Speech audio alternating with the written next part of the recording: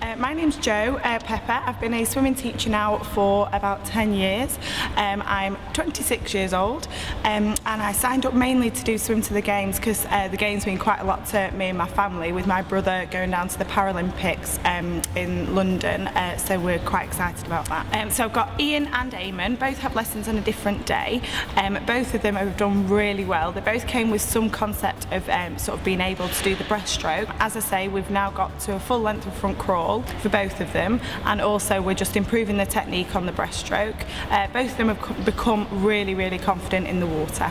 The main thing I get is a sort of a big sense of achievement regarding sort of the swimmers and when they achieve something it's like a, quite a big goal for myself as well. For example uh, the big goal uh, this time has been both Ian and Eamon both achieving um, one full length of front crawl which we're now building on. My name is Eamon. I originally come from Ireland. I've lived in England now for over 27 years. Um, I work in the building trade. I'm a surveyor. And I signed up to the games. Well, it was my wife and my son signed me up for it due to the fact that I am not a very, or have never been a very confident swimmer. I could never really swim a length. Didn't believe I'd be chosen. Uh, my wife and my son put me in for it. I knew about it, but um, just didn't think anything would come of it. But uh, happy as well because I was looking forward to the challenge. I guess fitness out of it, um, I get to swim with my son, hopefully, one of these days. I've got a lot more confidence with my swimming.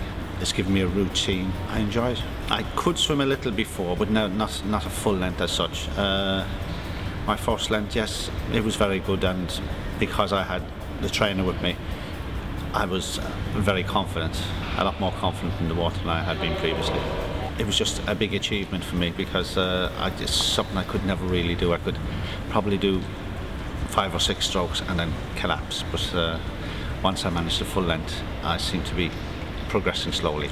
I'm Ian. I work for, for Life Leisure. Um, obviously from my accent you can tell I'm not from around here, so I'm, I'm from Barnsley, but um, signed up for swim to games because I've never really been able to swim. Um, when I was younger, a little bit of a jack the lad, could sort of do one length and then I just started bombing in and diving in and stuff.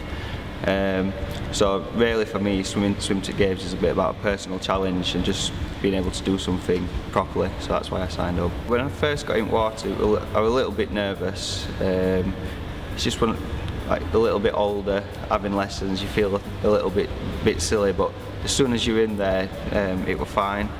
And then when I swam my first length, particularly when I swam my first length of front crawl, it, it felt like a real, real good achievement because it had been something that I've been working towards for sort of a couple of weeks um, and I was getting closer and closer and closer and when I swam my first length it was, was a, a, real achievement. It means that I get up earlier on a Friday, um, feel like a proper swimmer getting in pool at that time.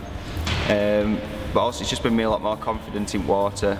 Um, I feel like when I go on holiday and stuff in future now, I'll be a lot more confident. Um, might even be able to swim at sea one day. Obviously it's a good exercise to keep fit um, and it's a life skill so it's something that I'll be able to do now for the rest of my life. Well my favourite thing is possibly when I get out of the water the sense of achievement and feeling tired but also feeling like you've done something. And least favourite, oh, split ends my hair. My hair's a mess since since I started.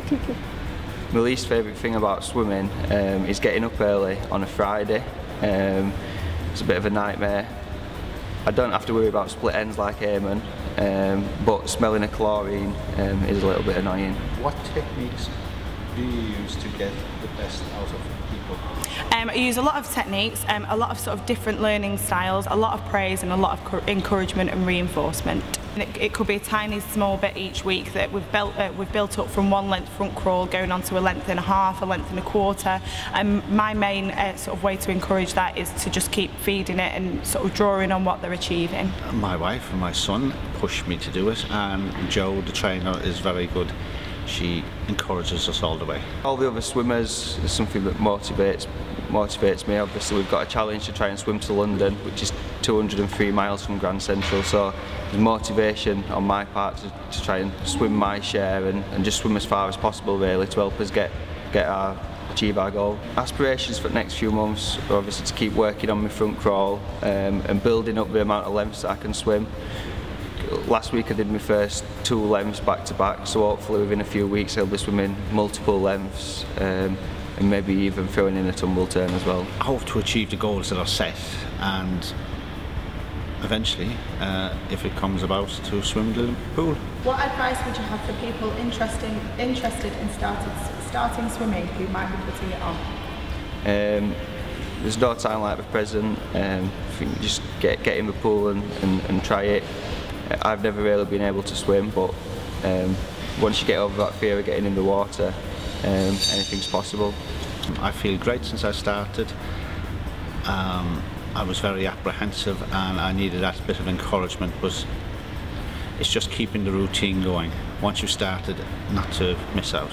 Go for it. It's never too late. Start you know small steps and you will it will build up but definitely go for it. And a final message for your swimmers come on we can do it two lengths front crawl thank you very much for the opportunity and uh, hope we all achieve our goals yeah we've done well so far to get to get to where we are um, now we just need a big push before the Olympics to just try and uh, get some more miles out, so I'm sure we can do it. Go team. Thank you, Ian. Alright, cheers.